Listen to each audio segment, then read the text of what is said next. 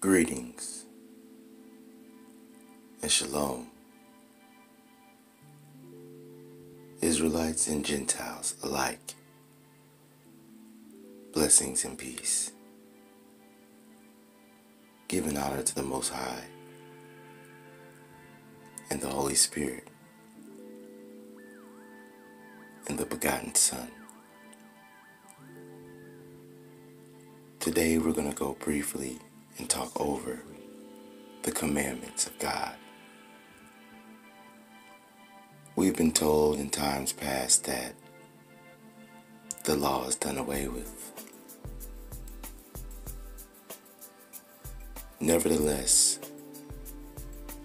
let's see what Christ has to say in Matthew. The book of Matthew a book known by theologians, the unknown author. However, this is a book that goes over Christ's ethical teachings. So we shall start in Matthew 5 and verse 1. And seeing the multitudes, he went up into a mountain. And when he was set, his disciples came unto him. And he opened his mouth, and he taught them, saying, Blessed are the poor in spirit, for theirs is the kingdom of heaven. Blessed are they that mourn, for they shall be comforted. Blessed are the meek, for they shall inherit the earth. Blessed are they which do hunger and thirst after righteousness, for they shall be filled. Blessed are the merciful, for they shall obtain mercy. Blessed are the pure in heart, for they shall see God. Blessed are the peacemakers, for they shall be called the children of God.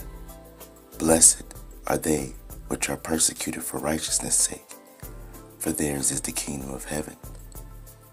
Blessed are ye when men shall revile you and persecute you, and shall say all manner of evil against you falsely for my sake. Rejoice and be exceeding glad, for great is your reward in heaven for so persecuted they the prophets which were before you. You, my brother or sister, are the salt of the earth. But if the salt have lost its savor, wherewith shall it be salted? It is thenceforth good for nothing, but to be cast out and to be trodden under foot of men. You, my brother or sister, are the light of the world. A city that is set on a hill cannot be hid. Neither do men light a candle and put it under a bushel, but on a candlestick, and it giveth light unto all that are in the house.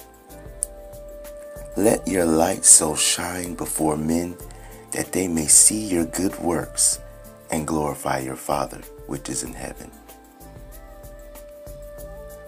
Think not that I come to destroy the law. Think not that I come to destroy the law. Think not that I come to destroy the law or the prophets. I am not come to destroy, but to fulfill. For verily I say unto you, till heaven and earth pass, one jot or one tittle shall in no wise pass from the law till all be fulfilled.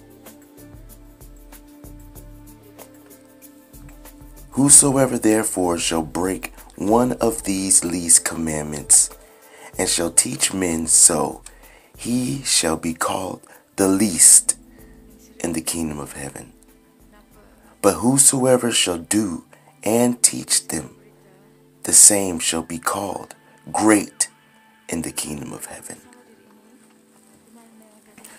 We can see that coming up in the 70s and the 80s within school, they had the Ten Commandments written in school. Though there still was school violence, school gunshots, it wasn't as frequent and prevalent in today's society. We see that leaving God's law out of life brings chaos and destruction. We also can see that things in this world has a written law. There is law properties in water. There is law properties in the air. There is law properties in fire. There's even law properties in love. However, God's law is written in everything, and I don't think, or better yet, we know in verse 17 that he said in Matthew 5 17, Think not that I am come to destroy the law. Now, going into another book to expound a little bit on this law, we're going to go to 1 John 5 1 through 3. 1 John, a book attributed to Apostle John, addresses the issue of heresy and false teachings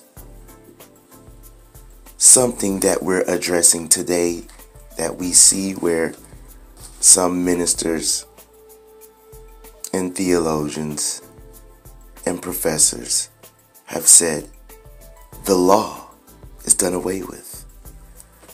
So let's see what John says. Whosoever believeth that Jesus is the Christ, is born of God. And everyone that believeth him also that is begotten of him. By this we know that we love the children of God when we love God and keep his commandments.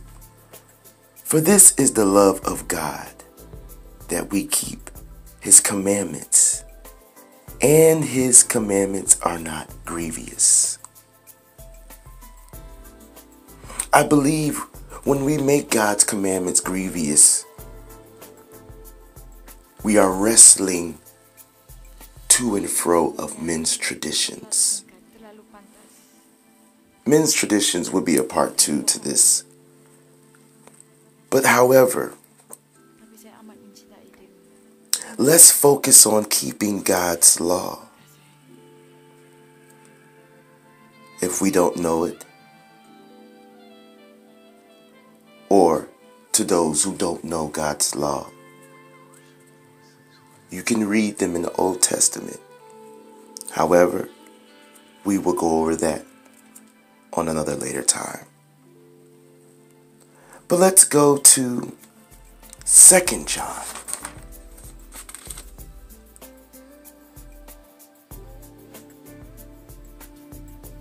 Second John 1 6. And it says, And this is love, that we walk after his commandments. What is love? And this is love, that we walk after his commandments.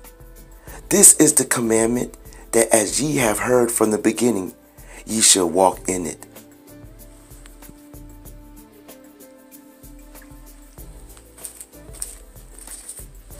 And one more scripture.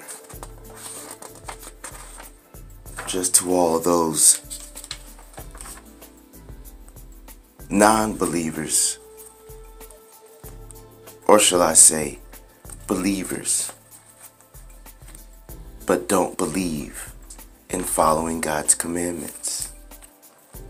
See, it's impossible to be in a relationship with someone can't respect that individual's rules of engagement?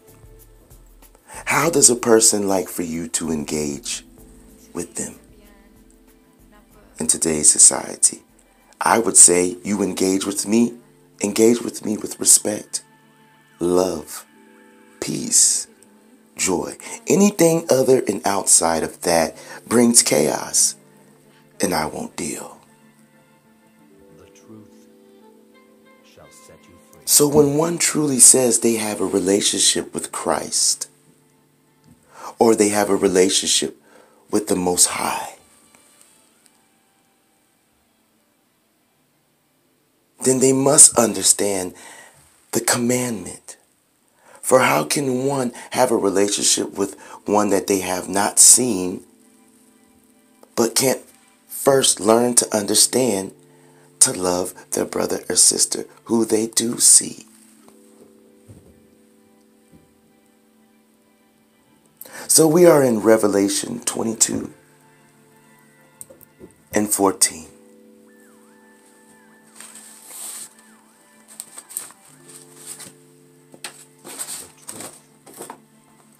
I am going there. Give me a second.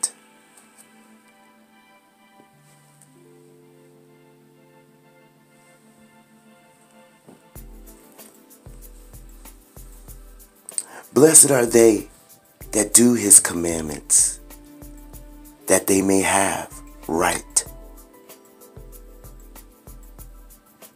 Blessed are they that do his commandments, that they may have right to the tree of life.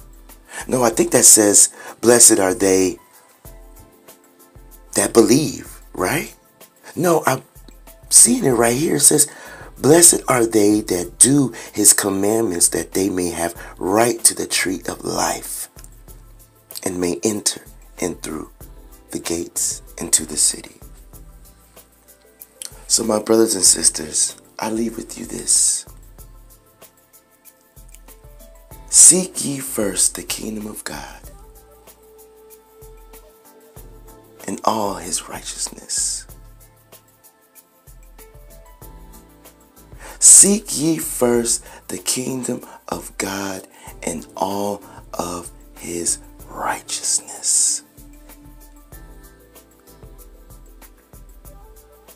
In part two, we'll go over the laws, what we can and can't follow, and we will also go over the name of the Most High and the name of Jesus Christ. And we will briefly touch the name and who is the Holy Spirit. God bless, love you, and shalom.